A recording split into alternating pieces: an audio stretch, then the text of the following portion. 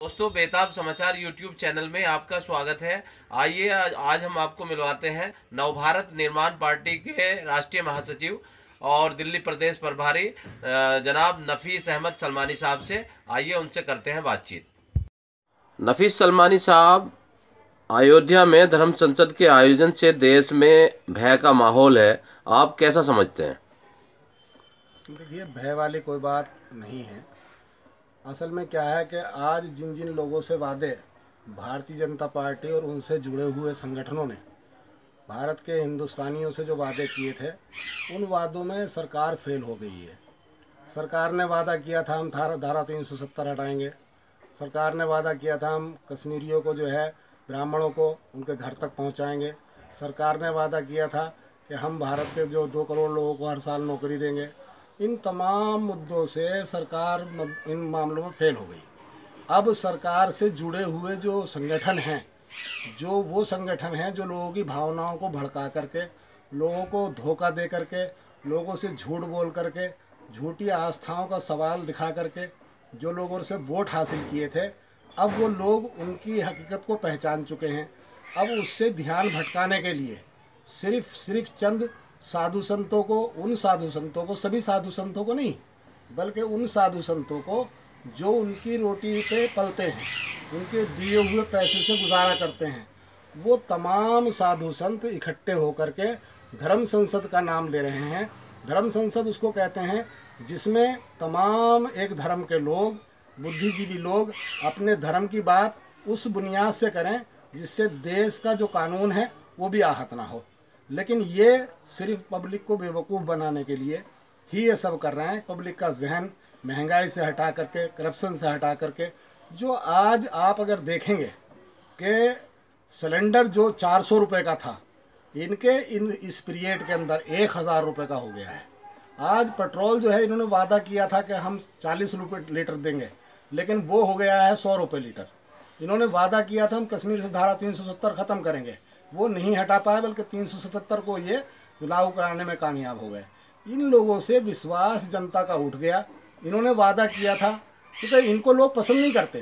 तो सरकार के जो वादे हैं क्या वो वादे जुमलेबाजी में बदल गए हैं? नहीं जुमले ही थे बदलने की ज़रूरत ही नहीं थी। इसलिए आज पब्लिक से हम ये कह रहे हैं कि राम मंदिर अयोध्या में बनाने के लिए कौन हिंदुस्तानी मना कर रहा है? आप एक नहीं एक सौ एक मंदिर बनाइए। लेकिन आपने सबसे पहले तो ये जवाब दीजिए, जिन आतंकवादियों ने अयोध्या में उस मस्जिद को तोड़ा गया था जिसपे केस चल रहा है, हमारे देश का कानून उस पर फैसला लेने के लिए तैयार था, वहाँ के मुख्यमंत्री ने जो इन्हीं की पार्टी का था, उसने वादा किया था कि हम वहाँ कुछ नहीं होने देंगे, लेकिन इन्होंने उस मस्जिद को तोड़ दिया। उस मस्जिद का नाम ले रहे हैं कि साहब वो आतंकवादी की मस्जिद थी, बाबर की मस्जिद थी। मस्जिद मस्जिद होती है। आज कह रहे हैं कि यह हिंदुओं की आस्था का सवाल है। हिंदुस्तान में रहने वाले मुसलमान सिख ईसाई सभी धर्मों की आस्था का मामला होता है। एक आस्था एक धर्म के लोगों की आस्था को ठेस पहुँचा करके तुम अपनी आस्था की बात करते हो ये कोई धर्म नहीं कहता। तो सलमानी साहब ये आस्था का जहाँ तक सवाल है तो देश आस्था से चलेगा या लोकतंत्र से संविधान से चलेगा? नहीं देश तो लोकतंत्र में देश में लोकतंत्र है। कानून से ही चलेगा, संविधान से ही चलेगा। इसलिए इनको लग रहा है कि हम सबको सजा होने वाली है मस्जिद को तोड़ने को लेकर के। उस सजा से बचने के लिए एक दबाव बनाने का काम कर रहे हैं, जिससे कि ये ऐसे पूरी दुनिया देख रही है पूरी दुनिया को रुसवा कर रहे हैं ये हिंदुस्तान के लोगों को चाहिए कि ऐसे लोगों को बेनकाब करें, ऐसे लोगों का बाइकाट करें। और हो भी रहा है जहाँ जहाँ ये चुनाव लड़ रहे हैं। लोग जा रहे हैं, कहीं इनके ऊपर जूतों की माला पड़ रही हैं, कहीं लोग इन्हें भगा रहे हैं, दौड़ा रहे हैं। लेकिन अब ये सब लोग उनसे नज़र हटाने के लिए देखिए मज़े की बात है पाँच राज्यों में चुनाव हो रहे हैं। जी। पाँच राज्यों के अंदर जो इलेक्शन होने वाला है इनको मालूम पड़ चुका है कि वहाँ हम हार रहे हैं। हमारी हार निश्चित है। उसमें इज़्ज़त से हार जाए, ये सब मामला उठा करके लेकर के आए हैं, वरना हिंदुस्तान का हिंदू और मुसलमान आपस में मिलकर के रहता है, उससे एक दूसरे से मोहब्बत करता है, एक दूसरे के धर्म की इज़्ज़त करता है, बल्कि लोग राम राम किसी मुसलमान को हिंदू भाई करता है तो मुसलमान भी उसके जवाब में राम राम ही कहता है। इतना सम्मान रामचंद्र जी का है, इन्होंने रामचंद्र जी के वकार को भी ठेस पहुँचाने का काम किया है। हज़ारों हज़ारों लोगों को, लाखों करोड़ों लोगों को जो है ना तकलीफ़ पहुंचाई है। जो देशभक्त हिंदू हैं वो जानते हैं कि ये क्या कर रहे हैं और आने वाले कितने भी धोखे दे लें अब इनके धोखे में हिंदुस्तान फंसने वाला नहीं है। इनको सज़ा होनी चाहिए। मैं तो ये कहूँगा अपने जो कोर्ट है सुप्रीम कोर्ट है मैं उससे ये कहूँगा कि वो इन लोगों को सबसे पहले उस जिन जिन पे केस हैं इस मस्जिद को तोड़ने के यानी कि संविधान को तोड़ने के कानून की हत्या करने के उनको सज़ा दे। उनको वही सज़ा मिलनी चाहिए जो देशद्रोही को मिलती है। तो ये मामला ख़त्म हो जाएगा। हाँ सलमानी साहब मुसलमानों में अभी तक कोई लीडर ऐसा नहीं दिखता जिस पर पूरी कौम जो है आँख मूंद कर एतबार कर ले। देखिए मुसलमान जो है वो देशभक्त है। मुसलमान हिंदुस्तान के संविधान में विश्वास रखता है। अब हिंदुस्तान में मुसलमान का कोई नेता मौलवी नहीं होगा बल्कि हमारे जो हमारे जो मज़हब का मामला होता है जब मसलक का मामला होता है तो हम अपने उलमा के पास जाते हैं, मुफ्ती के पास जाते हैं, मसले का हल निकालता है। ऐसे मसाइल के हक के लिए हमें किसी संविधान के हाफिज मुफ्ती के पास जाना पड़ेगा।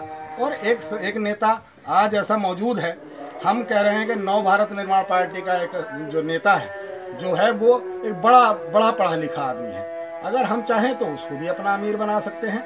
अगर हम नहीं चाहेंगे और हम इस उम्मीद में बैठे रहेंगे कि अब कोई पैगंबर आएँगे या कोई बाहर से जो है मुग़ल आएँगे तो मुग़लों पे मुसलमानों ने कल भी विश्वास नहीं किया था। कल पे कल भी उतना ही विश्वास करते थे जितना आज हिंदुस्तान के संविधान पे विश्वास करते हैं, आज भी करते हैं और कल को भी करते रहेंगे, क्योंकि तो हमारा मज़हब कहता है कि आप अपने जिस मुल्क में रहो, उसके संविधान पे यकीन करो, उस पर विश्वास पे करो, उस पर अमल करो। हम हमारा मज़हब अलग है। तो सलमानी साहब जैसा माहौल बन रहा है धर्म संसद चल रही है भय का माहौल तो है ही। लोग डरे हुए हैं एक तरह का खोफ है कुछ भी हो सकता है। तो ऐसी हालात में मुसलमानों को क्या करना चाहिए? देखिए जब गुंडे आ जाते हैं किसी भी शहर के अंदर तो उनसे भय तो वो पैदा करते ही हैं। लेकिन उन गुंडों से लड़ने के लिए हमारे देश के अंदर कानून है और हमारे लोगों को चाहिए, तमाम हिंदुस्तानियों को, देशभक्त हिंदुस्तानियों को, कि वो ऐसे देशद्रोही जो संविधान की हत्या करने वाले लोग हैं, ऐसे लोगों को कि के खिलाफ एक आंदोलन खड़ा करें और आसान सा तरीका है कोई तलवार बंदूक गोली की ज़रूरत नहीं है, अपने वोट का इस्तेमाल करें। हमारे देश में डेमोक्रेसी है और वोट से हमने बड़ी बड़ी ताकतों को हराया है। आज भी हम इन ताकतों को हराने में कामयाब होंगे। देश कल भी एक था और कल को भी एक रहेगा। ऐसा मेरा मानना है। Thank you